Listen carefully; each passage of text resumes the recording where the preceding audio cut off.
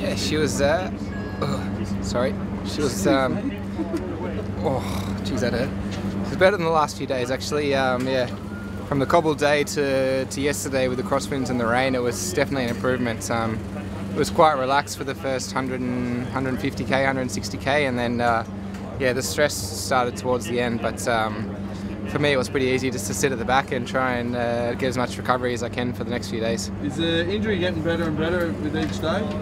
Um, it's hard to say because I'm still on the painkillers, so my my attitude's definitely getting better. So that's the main thing, and um, as long as I keep my head up, the the injury's not really a problem. Wow, kept it up right, so that's a good start. Yeah. That was a dog. Yeah, it was alright. Yeah. It's uh, the best uh, state so far. Easy, uh, easy start. So that was nice. Yeah. Finally showing a bit of respect. Yeah, it was alright. Pretty, uh, pretty relaxing day really, and there's, uh, yeah, it just wasn't really.